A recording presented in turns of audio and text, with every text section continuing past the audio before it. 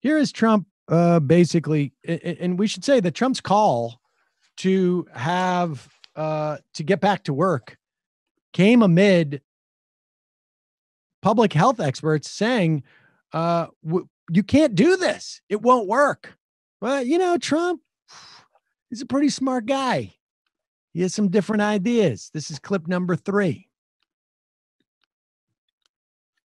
Be very, very bad uh, and two, that you want to get the country open back yeah. up as quickly as possible. So I guess my question is if in a week uh, Dr. Birx or Dr. Fauci are telling you we need to continue these measures uh, for the health of the vulnerable populations of the country, are you going to say, I'm sorry, the, the economy is too important? Um, well, you'll see what happens. Uh, I, I, understand the question very well. It's a, it's a great question, but uh, we can do two things at one time. I will say this our country's learned a lot. We've learned about social distancing, we've learned about the hands, we've learned about uh, uh, staying away, at least during the time that this is even uh, a little bit around.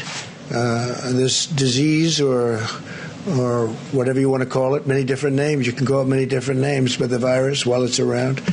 And uh, we can start thinking about, as an example, uh, there you go. You won't commit to uh, what the uh, doctors say, and you also you can call it a bunch of different things. Did you know that?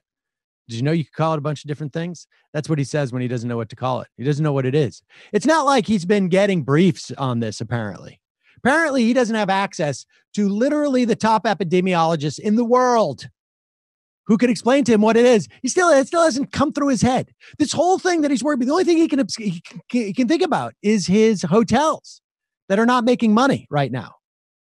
And Sam, so he, I think you are discounting the fact that he we did learn to think about the hands though. We did learn you know, hands. He remembered that.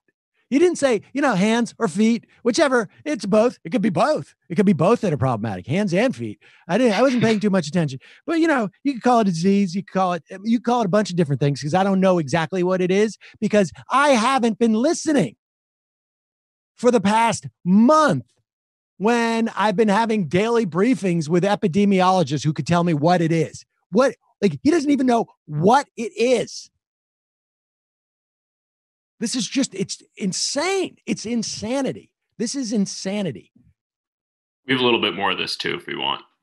Um, is this what? Which one is this? Is it's the uh, same clip? We just have a little bit more. It okay, keep playing. Keep playing.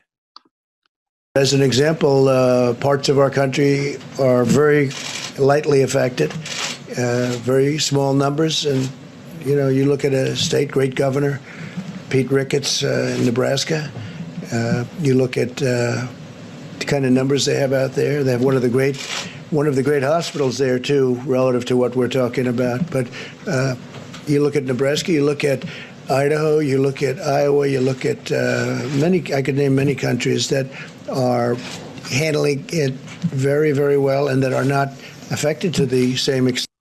Yeah. yeah. Incidentally, those are states, they're not countries. But aside from that, obviously, you misspoke. Um, but do, what's the pattern? Did anybody pick up on a pattern like this? Like Iowa, Nebraska? What else did he say? Wyoming, Idaho, Idaho. Uh, those huh. are all, uh, I think, Native American words. They're they're they're all they they they're just not densely populated. It's fine there. All right. Well, let's let full on economic activity there. What are we going to do? We're going to move all our, our, our economic activity there. I mean, this is just absurd. This is a lun- This is lunacy. This is total lunacy. It's unbelievable.